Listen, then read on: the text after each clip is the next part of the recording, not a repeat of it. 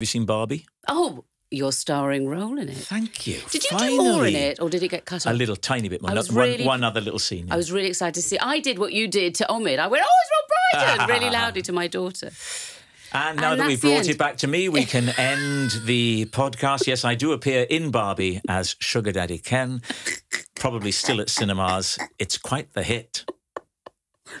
Shut up, it's finished. Shut up, Tracy Ann.